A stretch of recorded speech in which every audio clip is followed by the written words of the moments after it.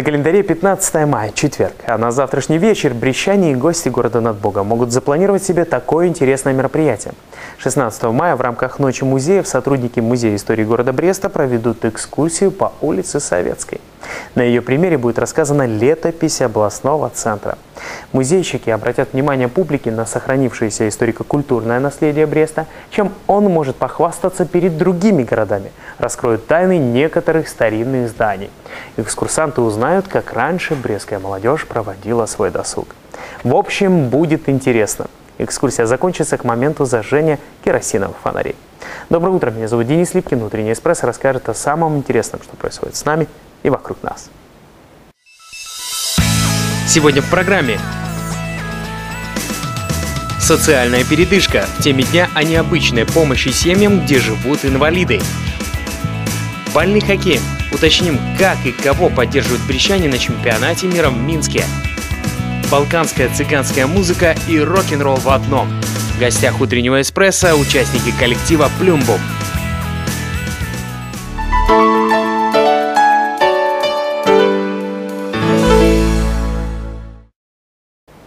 И еще анонс мероприятий для любителей семейного бега, ведь сегодня Международный день семьи. Твой выбор на пути к здоровому образу жизни. Такой слоган утренней пробежки в Брестском парке культуры и отдыха. Желающих приглашают к 10 часам 18 мая. В Берестейском забеге также примут участие подопечные территориального центра социального обслуживания населения Московского района города Бреста.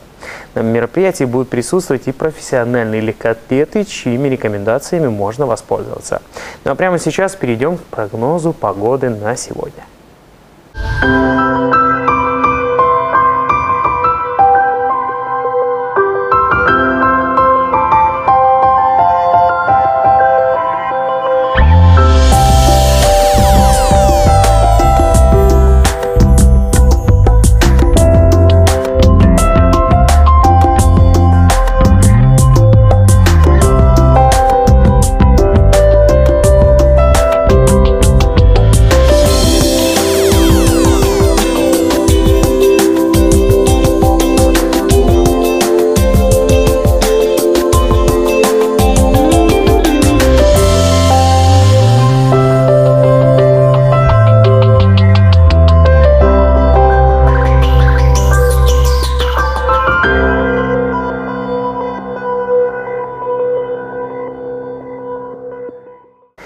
Учебный год еще не завершен, а в Высоковском профессионально-техническом колледже сельскохозяйственного производства Каменецкого района думают уже о новом наборе. Утверждены уже все контрольные цифры. Для девочек на основе базового образования будет открыта новая специальность – контролер-кассир. Сегодня широко развивается сеть торговых объектов, и эта профессия будет востребована.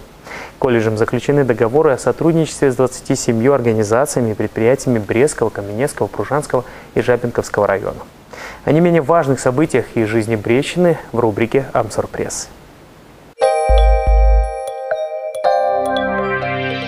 В прошлом году в Брестской областной больнице успешно была выполнена первая пересадка донорской печени. Запланированы ли подобные операции на нынешний год? Какие новшества внедряются здесь сегодня? Ответы на эти и другие вопросы в сегодняшнем номере газеты «Заря».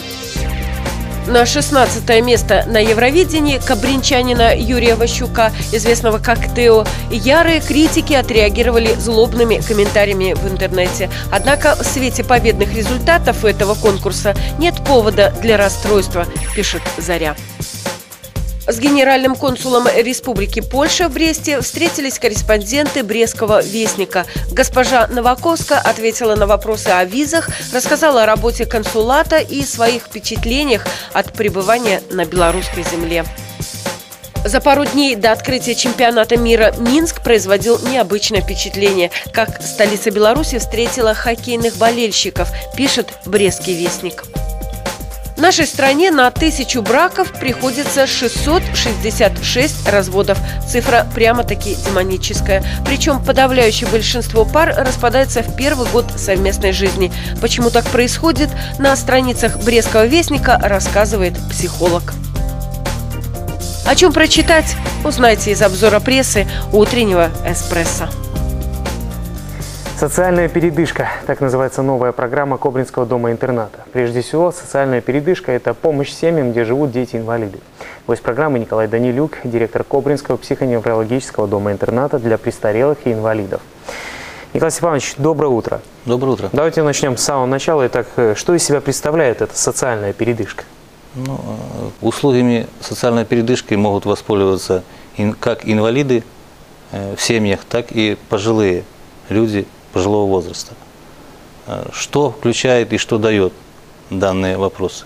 В первую очередь дает возможность кратковременного поселения в дом-интернат без лишения дееспособности инвалида на период до одного месяца.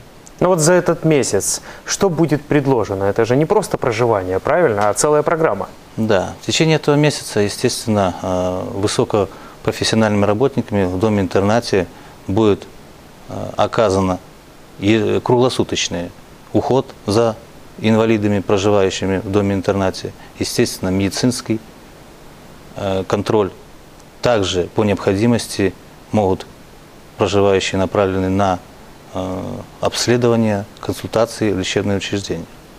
В доме-интернате имеется, естественно, и столовая с четырехразовым питанием, спортзал, библиотека, своя прачечная, где можно Э, произвести необходимые постирочные вопросы. То есть, в принципе, этот месяц может быть и отчасти насыщенным у человека, который воспользуется вот данной услугой, правильно? Так и точно. в плане досуга, и в плане вообще поправить свое здоровье. Да. Насколько востребована эта услуга? Насколько востребована? Ну, провели небольшой анализ э, на протяжении 2013 года в доме-интернате Кобринском оказано таких услуг, три услуги – Э, за отчетный период 2014 э, года к нам обратилось уже э, два человека, которым были оказаны данные услуги. Ну, если говорить о том, что вот идет оказание таких услуг, на какой основе? Безвозмездно или все-таки придется заплатить? Краткосрочное проживание, естественно, производится на платной основе. Оплата, естественно, производится по конкретным оказанию услуг. Решением Брестского областного исполнительного комитета установлены максимально тарифы на оказание услуг данных краткосрочного проживания. Для домов-интернатов психоневрологического профиля на сегодняшний день они составляют 149 600 рублей в сутки. Что дополнительно хотелось бы еще сказать? Естественно, составляется договор между э, дееспособным гражданином или же опекуном э, при наличии всех заключений. Также Дополнительную информацию можно получить по телефону 21182 в доме-интернате. Ваше учреждение одним из первых э, в регионе э, начало прививать вот такой опыт. И получается, если его подхватили ваши коллеги, вещь востребована. На ваш взгляд, насколько? По необходимости. Э, дело в том, что возможно решить какие-то семейно-бытовые вопросы. Возможность где-то восстановить свое здоровье э, родственникам. Также вопрос решить э, о лишении дееспособности инвалида, если в последующем планируется э, поселить инвалида для постоянного проживания в доме-интернате. Поэтому обращаются граждане, и мы готовы оказать данные услуги.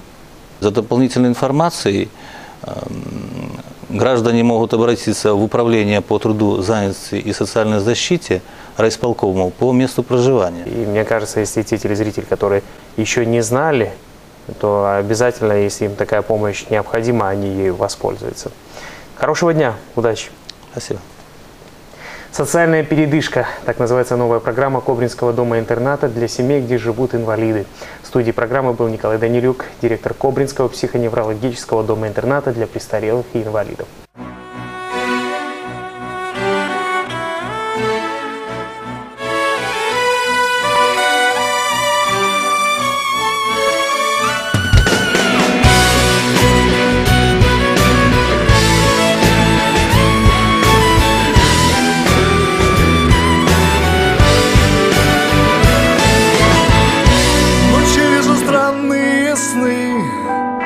Холодная планета. Я не знаю как и кто здесь мы. Не нахожу ответа. Жить в поисках врага. А так хотелось друга. Как сердца тогда Из замкнутого круга? Улетай. В небе встретишь новый день. Большая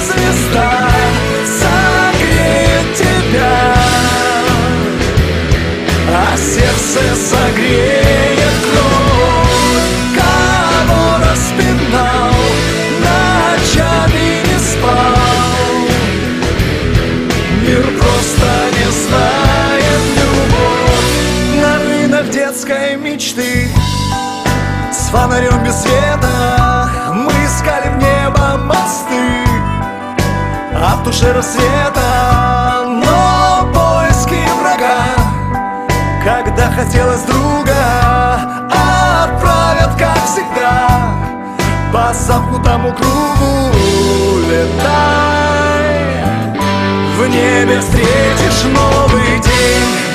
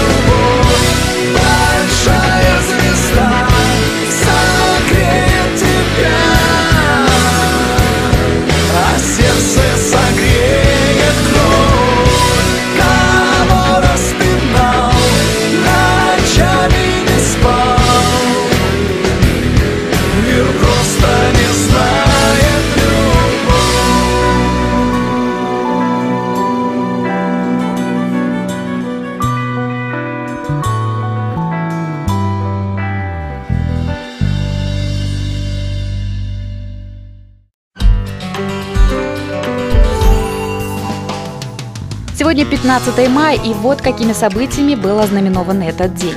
В 1637 году в Голландии пышно отметили рождение черного тюльпана.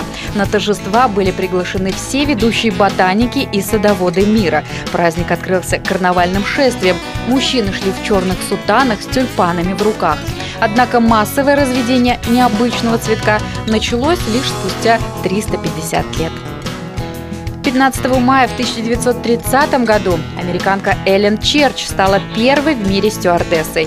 В последующие три года почти все американские авиакомпании обзавелись отрядами стюардесс, что поспособствовало популяризации пассажирской авиации. В этот же день, в 1935 году, состоялось открытие первой линии московского метрополитена. На линии было сооружено 13 станций и 17 вестибюлей. И первоначально метрополитен столицы носил имя Кагановича. 15 мая в 1940 году родилась актриса театра и кино Светлана Светличная. У актрисы было много ролей, но самый большой успех Светличной пришел с картиной Леонида Гайдая «Бриллиантовая рука». После этой эпизодической роли Светличной стала известна в истории советского кино как первая актриса, показавшая стриптиз. В этот же день, в 1945 году, Московское радио передало последнюю оперативную сводку Совинформбюро. С момента начала Великой Отечественной войны было передано свыше двух тысяч сообщений. В последней оперативной сводке Юрий Левитан сообщил, прием пленных немецких солдат на всех фронтах закончен. Как обычно, и нынешний год для заслуженного любительского коллектива Беларуси ансамбля «Танца радость» Брестского городского дома культуры будет весьма насыщенным. По традиции, коллектив примет участие во